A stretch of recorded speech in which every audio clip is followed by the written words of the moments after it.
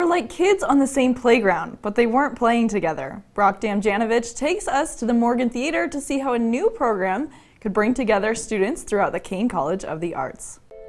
The orchestra is warming up for something new, an age of interdepartment harmony, and the catalyst for the Caine College change, puppet theater.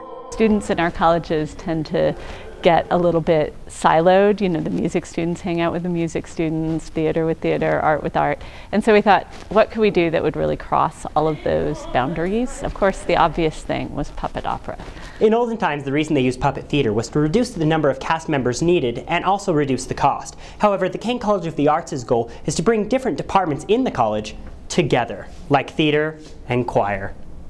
The opera told the tale of Rogero, who leaves the world of women to re enter the warlike world of men.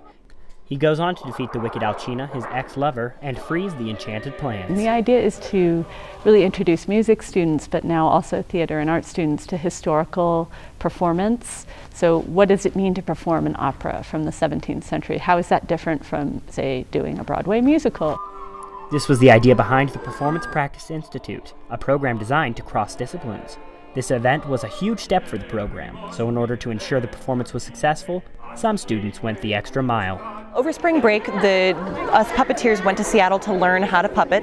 Um, we worked with Dmitri Carter at the Northwest Puppet Center, um, and since we've been back here, we've been rehearsing every night with the with the band and with the singers. And they say it was all worth it to work together. It has been wonderful to work on a project that is, you know, all the different departments of Caine College of the Arts coming together to produce one one piece of art. It's it's been such fun, and I hope that we do more collaborations in the future.